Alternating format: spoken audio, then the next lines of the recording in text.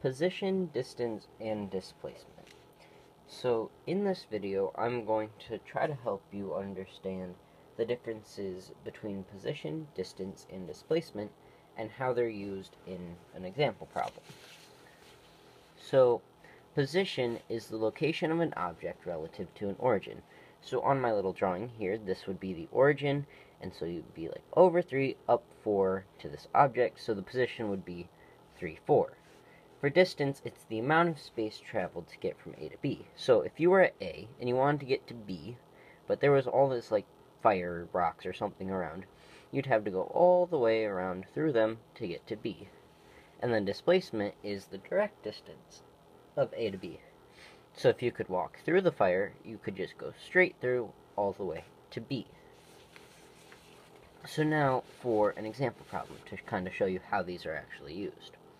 So for my example problem, I have show position of distance and show position, distance, and displacement from Frank's house to get to the hardware store. Now this doesn't make any sense, but that's okay because I have this little picture right here. So this is Frank's house, this is the hardware store, and then I've marked the origin. It's marked on all of them. So we're going to show all three here. So starting with position. So I have positives on this side and up from the origin, and negatives this way and down from the origin. So what we're going to do is first we're going to count to Frank's house. We're going to go over 1, over 2, and over 2.5, and and then up 1, up 2, and then 2 and a half. So then we land on the building. Then for here we're going to go down 1, down a half, so that's negative 1 and a half, and then down a half, so that's negative half. So then now we have the position for the hardware store and for Frank's house. Now, for distance. Now, if you were Frank, and you wanted to drive to the hardware store, you'd turn onto this road, you'd probably go down this way, turn, and down, and back.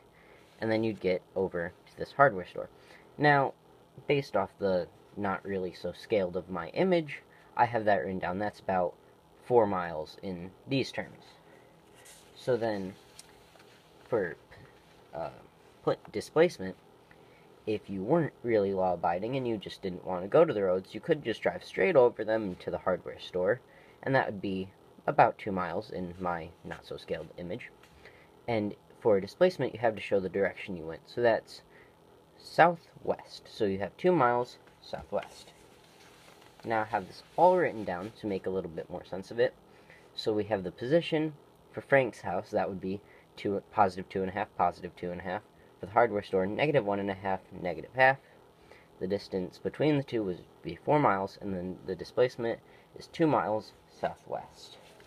So then, that's the end. That's all I have. I hope that this was successful in helping you in defining position, distance, and displacement, and that's all.